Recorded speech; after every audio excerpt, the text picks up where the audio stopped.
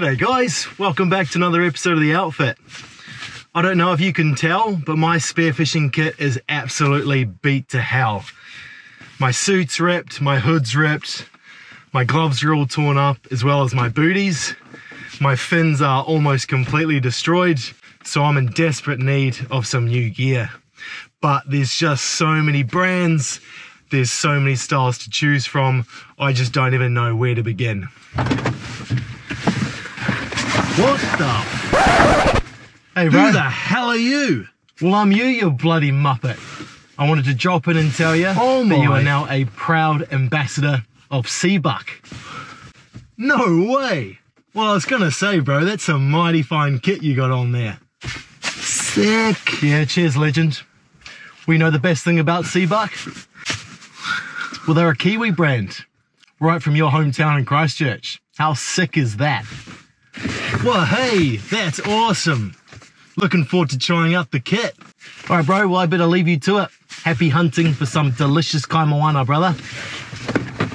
Cheers, Chris. See you next time, brother.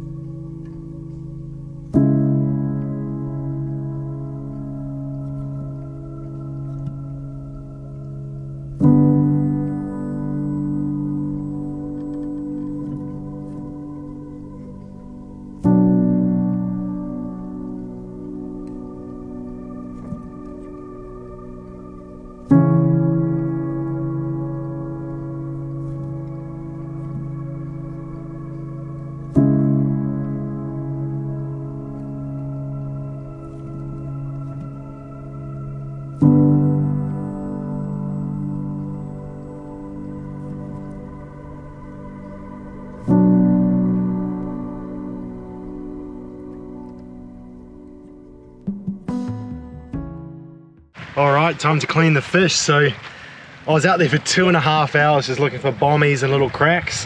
Finally found a crack. It just happened to be pretty much just in front of the Jeep. So I got this good sized coral trout. Awesome shot on him right between the eyes so he was dead straight away. New Seabuck kit is so nice. I'm stoked with it. The GoPro but he ran out of uh, battery just before I shot this guy because I was running around filming. Look, he's regurgitated a fish. See the fish coming out of his mouth? Oh. Two fish for the price of one.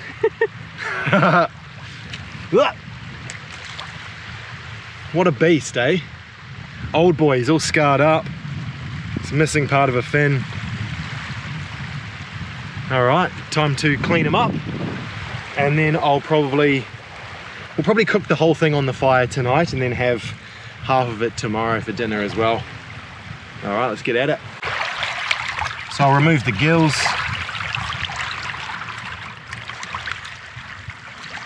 Which on this coral trout are really spiky. Like really spiky.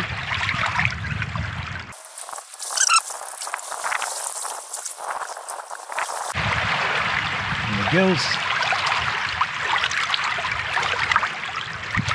And they'll uh, affect the quality of the meat. And coral trout's one of the best in the ocean, so I want to preserve them.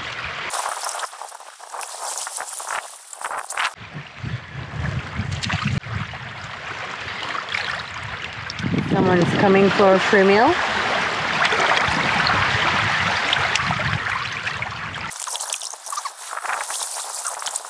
Pull all the guts out.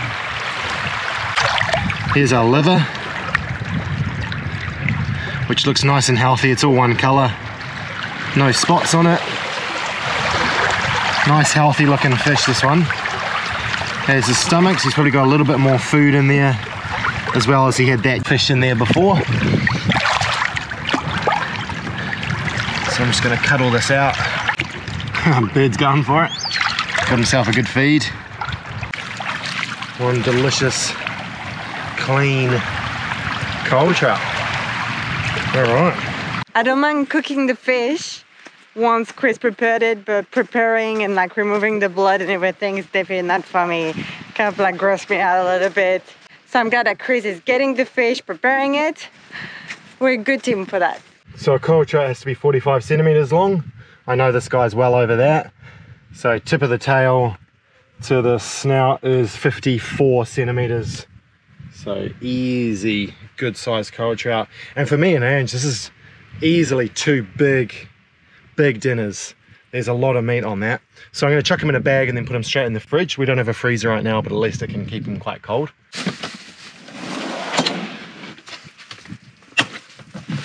So I need to work out.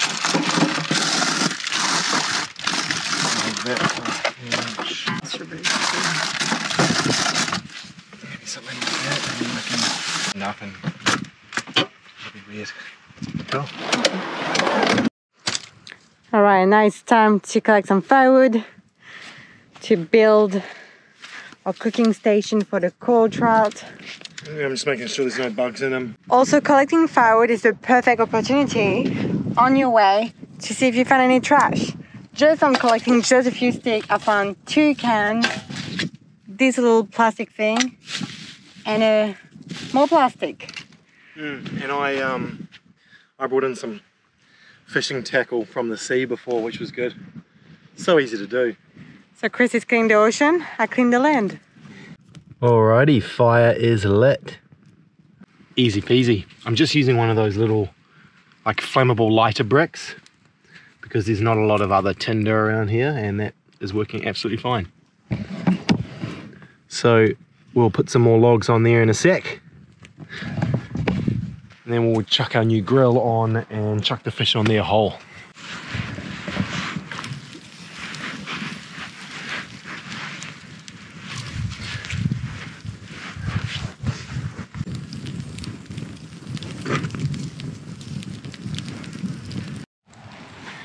All right, this is this is so good. So I just ate the cheek, tasted amazing. Bit burnt on the skin, but underneath it is super juicy and nice. Cooking on the fire just tastes so bloody good.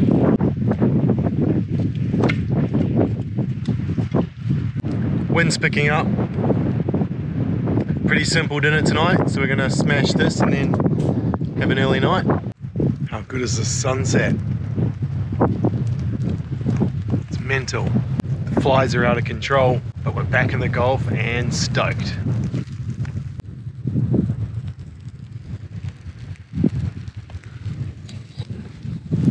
Now, guys.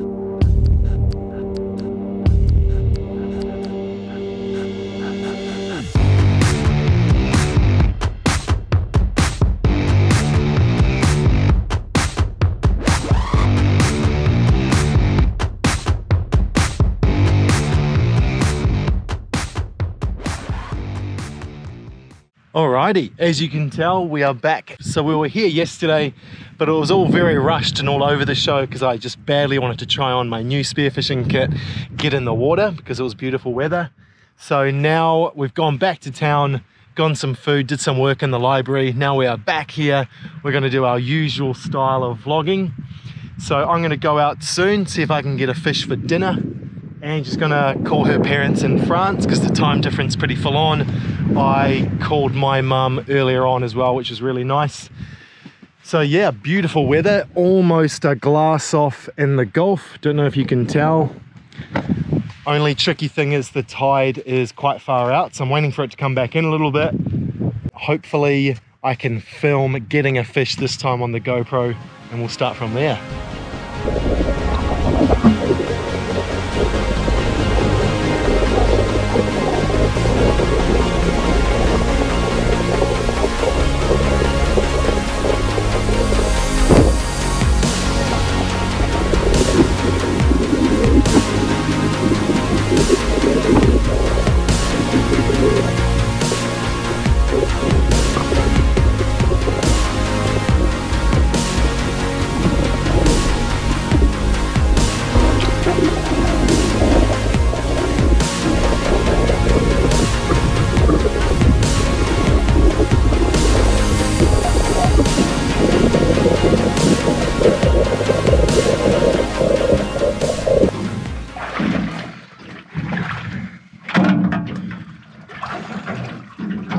70. 70 centimeters. 70 centimeter coral trout, yes. Seabuck gear, working pretty well. That's actually, that is fast. Oh. I'll take that.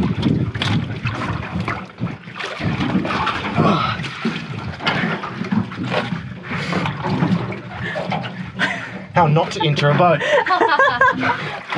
I'm knackered. Like a little mermaid. Look, Good job. Oh, sick. Oh, he's so happy. Oh, yeah. he's a big boy. Jeez. Wonder how much he weighs.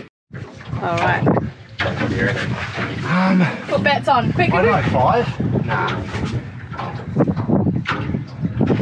There's nearly six. Nearly six. Oh.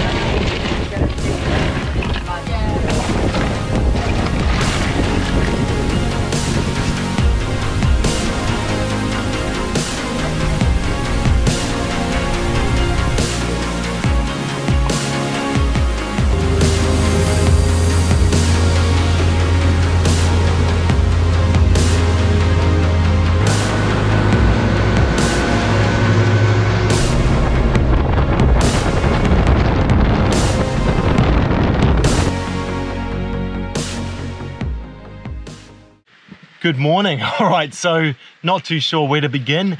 Basically, when we saw you last, we just set up, and then we get a text from our mate Kaleb over Instagram saying, Are you up on the beach, guys? We're like, uh, yeah. Turned out he was the only boat in the Gulf that we could see, and he had spotted us because we're the only vehicle on the beach, and we certainly do stand out with this blue vehicle. So he came steaming in with his mate Ants, uh, grabbed us, and then we went and picked up Kaleb's girlfriend Louise and shot out not too far, but it was starting to get pretty late in the day, so the light was going down. Went for a little dive. I shot a little stripy sea perch, which was 35 centimeters, also called a Spanish flag, and here they taste really, really nice. Never actually shot one before because the ones I see close to shore when I usually go are a bit too small. So got that in the boat and then went out and I shot a horse of a coral trout, which turned out to be 5.8 kilograms on the scales and was 70, 71 centimeters. Absolute whopper. But we have no room in our little fridge for a fish that size. So fortunately, Kaleb went and cleaned it up and we'll grab a few fillets off him at some stage. But we basically steamed back in and it was dark, so we couldn't do any filming past then but it was awesome. So hopefully we'll go out with them again one day soon. So the plan today, we're just gonna basically chill on the awning, which has been very good so far. We just put the guy rope and the pole behind me just for safety. You don't have to do it, it's a freestanding one, but we just prefer not to break it just in case a big wind gust, just in case a big Gust of wind. gust of wind, just in case a big was Oh my god, I was there. Just in case a big gust of wind comes back. just in case, just in case it gets very windy. 10 goes, you'll get it, telling you. Have faith.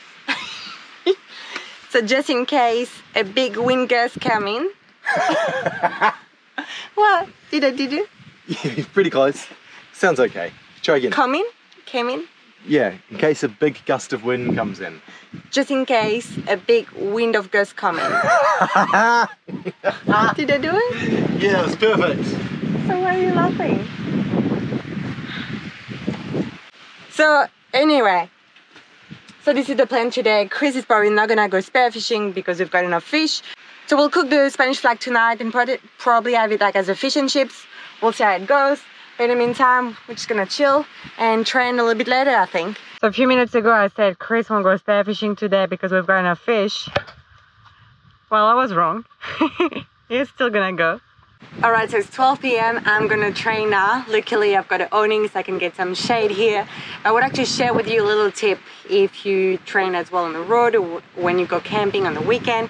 If you feel a little bit unmotivated, a good tip is to write yourself the workout that you're about to do on your phone or on a piece of paper so that you can visualize it and commit to it, which is the key. So for me today, I'm gonna do five sets of this sun workout. I'll put it on the screen as well just in case you can't see it. But yeah, I feel a bit tired, so it's good for me to know what I'm gonna do and commit to that. So let's get started. Click on the card at the top if you want to see a full glutes workout video. That was so neat.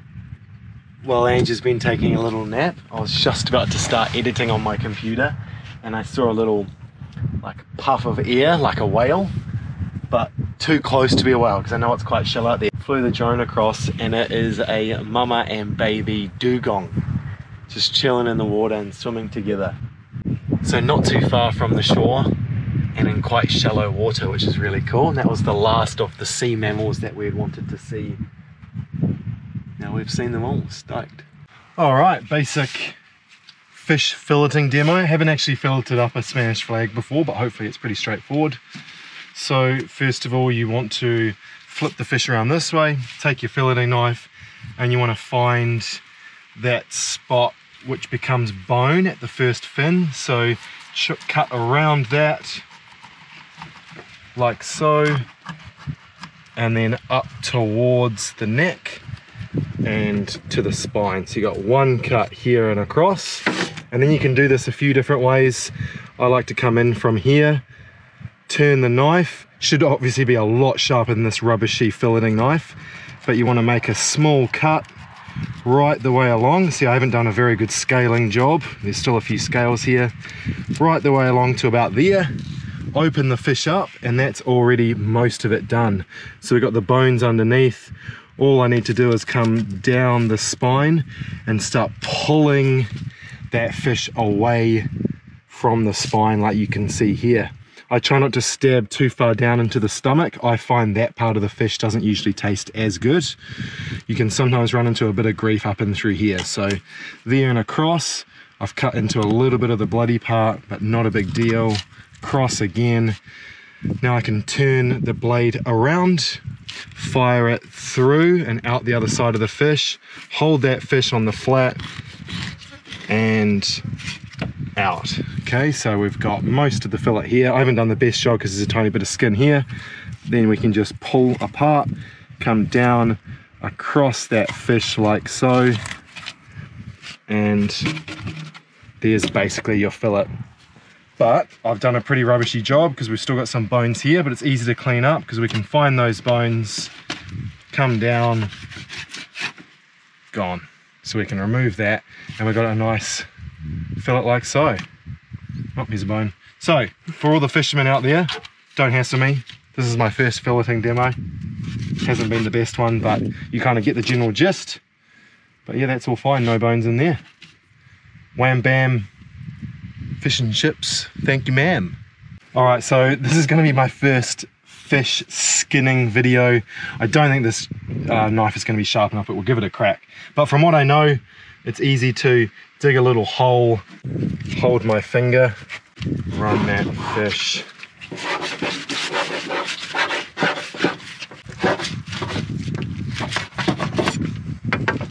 That's the skin off.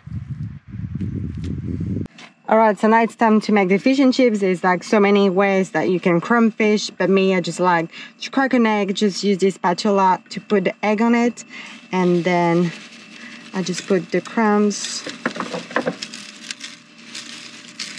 like so. I'll flip it around and do the same. Put some egg. Alright, and now we put the chips on the fire that Chris prepared for me. So I'm just gonna stack them so.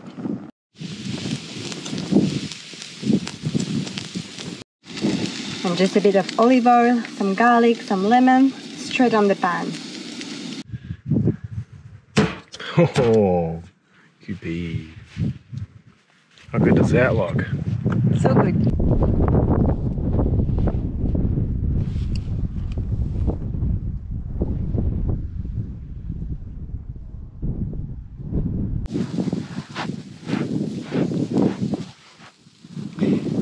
One of my favorite easy campfire dessert. Just some grilled pineapple with some cinnamon. Oh, that looks so good.